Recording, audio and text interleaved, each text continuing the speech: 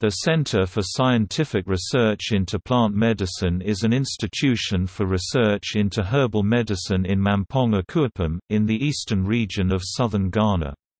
It was set up by the Government of Ghana in 1976. 84 It produces its own herbal medicines and runs an outpatient clinic which treats more than 16,000 patients a month. 84